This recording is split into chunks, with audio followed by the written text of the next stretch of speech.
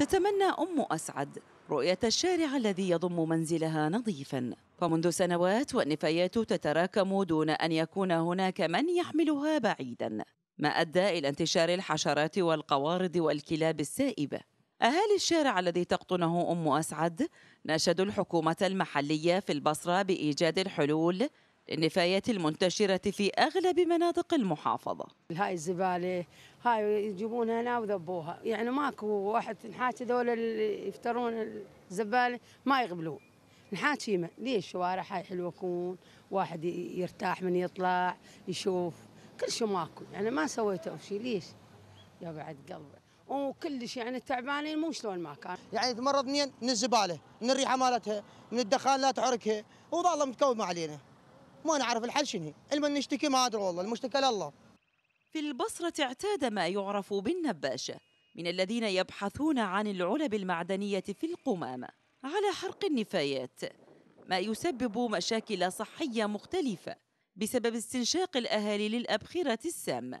مديرية بيئة المنطقة الجنوبية أكدت أن عمليات الحرق لن تنتهي ما لم يتم إنشاء معمل لتدوير النفايات أسوة بدول العالم.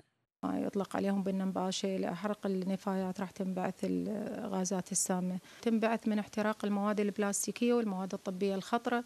تسبب السرطان تسبب أمراض الربو تسبب أمراض الحساسية مختلف أمراض جلدية. حكومة البصرة من جانبها أشارت إلى أن ملف النفايات تناقل ولمرات عدة بين القطاعين العام والخاص.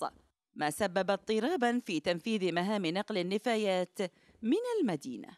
ملف التنظيف في البصرة مر بثلاث مراحل. المرحلة الأولى هي أنه كان على القطاع العام ثم تحول إلى القطاع الخاص ثم تجزأ إلى جزء من بعض الشعب أقصد مركز المحافظة الآن أنا. جزء من عنده على القطاع العام وجزء الآخر على القطاع الخاص. والمرحلة الرابعة الآن اللي هي اللي جاي نعيشها هي أنه رجع على القطاع العام وبالتالي يحتاج إلى جهد حقيقة استثنائي. أنا شخصيا أميل إلى أنه يكون هذا الملف هو باتجاه القطاع الخاص. ويصل عدد العاملين في قواطع بلدية البصرة لنحو ثلاثة آلاف عامل فيما تصل كمية النفايات التي يقوم بنقلها عمال النظافة من مركز محافظة البصرة لنحو 1300 طن.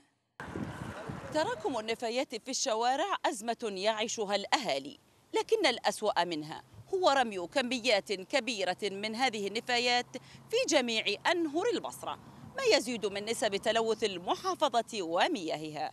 نجح العابدي الحرة البصرة.